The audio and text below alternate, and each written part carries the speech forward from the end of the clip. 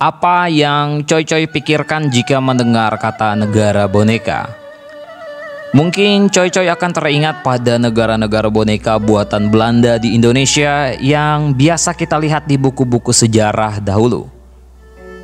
Ya, negara boneka memang bukanlah hal yang aneh pada masa sebelum, saat, dan setelah Perang Dunia Kedua. Ngomong-ngomong masalah negara boneka, bukan hanya Belanda yang membuat negara-negara boneka tetapi Jepang juga sempat membuatnya. Dan dari sekian banyak negara boneka yang dibuat Jepang yang paling melegenda adalah Manchukuo, negara boneka di area China yang melibatkan kaisar terakhir dinasti Qing, Puyi. Nah, bagaimana kisah di balik negara boneka buatan Jepang ini? Mari kita bahas. Seperti biasa, jika kurang mohon ditambah, jika salah mohon dikoreksi. Jika ada referensi lebih, mari kita saling berbagi.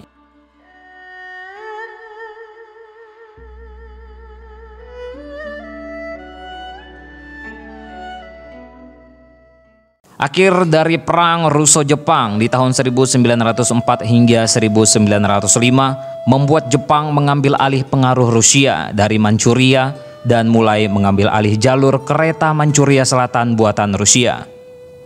Tentara-tentara Jepang pun ikut diboyong ke Manchuria karena dianggap penting untuk status Jepang yang tengah berusaha mengembangkan sayapnya. Saat Puyi naik tahta, suasana sedang kacau.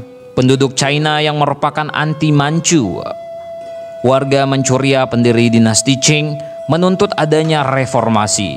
Belum lagi adanya rencana penggulingan dinasti yang diprakarsai Jenderal Yuan Shikai.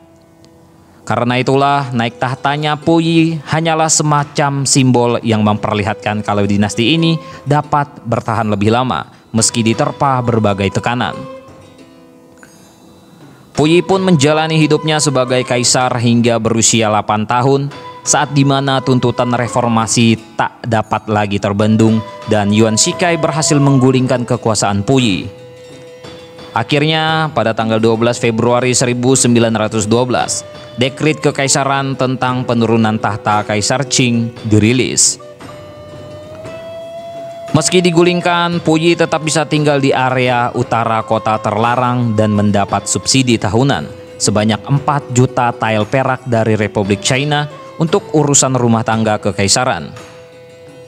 Malangnya, Puyi yang masih kanak-kanak tak tahu apa yang menimpanya dan masih menganggap dirinya sebagai seorang kaisar saat ia dipindahkan.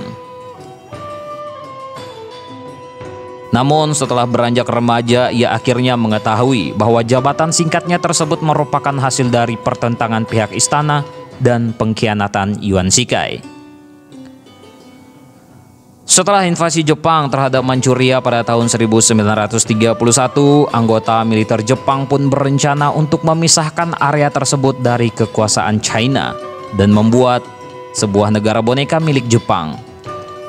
Dan untuk menciptakan adanya suasana sah, mereka meminta sang kaisar terakhir dinasti Qing, Puyi, untuk memboyong pengikutnya dan menjadi kepala negara Manchuria dengan iming-iming kebangkitan dinasti yang tentu saja bohong. Hal ini pun diterima Puji. Pada tanggal 1 Maret 1932, Manchukuo pun resmi berdiri dan mendapat pengakuan dari Jepang pada tanggal 15 September 1932 melalui Japan Manchukuo Protocol. Jepang pun menggunakan Puyi sebagai pimpinan boneka bagi negara bonekanya tersebut dan dua tahun kemudian ia diangkat menjadi Kaisar Manchukuo dengan nama Era Kangde. Zheng Xiaoxiu, pengikut setia Puyi pun diangkat menjadi Perdana Menteri pertama hingga pada tahun 1935.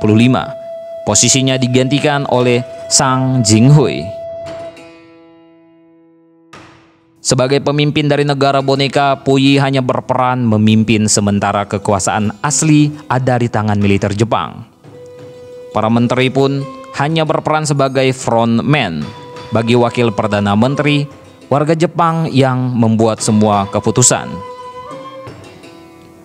Dengan dibentuknya Manchukuo, rencana Jepang pun sukses.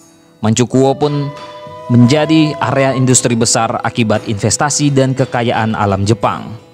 Kesuksesannya pun membuat penduduk Jepang ogah melepas Manchuria, karena saat itu ekonomi Jepang tengah hancur akibat adanya Great Depression. Sayangnya kejayaan Manchukuo tak bertahan lama. Sebelum Perang Dunia Kedua dimulai, Jepang menjajah Manchukuo dan menggunakannya sebagai basis untuk menyerbu China. Jenderal Manchu, Tong Linge, tewas di tengah tentara Jepang di pertempuran Beiping Tianjin, memicu dimulainya pertempuran Sino-Jepang kedua. Pada musim panas tahun 1939, sengketa perbatasan antara Manchukuo dan Republik Rakyat Mongolia mengakibatkan pertempuran Kalkingol. Dalam pertempuran ini, pasukan gabungan Soviet Mongolia berhasil mengalahkan tentara Kuantung yang didukung oleh pasukan Manchukuo. Pada 8 Agustus 1945, Uni Soviet pun mendeklarasikan perang terhadap Jepang dan menginvasi Manchukuo dari Manchuria luar dan Mongolia luar. Saat Soviet menyerang, tentara kekaisaran Manchukuo yang terdiri dari 200 ribu orang kalah dan akhirnya menyerah kepada Soviet tanpa menembak satu kali pun. Emperor Kangde yang berusaha kabur ke Jepang untuk menyerah pada Amerika pun ditangkap oleh Uni Soviet yang akhirnya mengekstradisikan ke pemerintahan komunis di China di mana ia dipenjara sebagai kriminal perang bersama pejabat Manchukuo lainnya. Dengan ditangkapnya seluruh pejabat Manchukuo dan menyerahnya Jepang pada tentara sekutu, hancurlah sudah negara boneka buatan Jepang tersebut. Kini Manchukuo kembali menjadi bagian dari Cina. Nah, kira-kira seperti itulah sekilas tentang Manchukuo, negara boneka buatan Jepang. Tentang ini, bagaimana menurut kalian? Coy.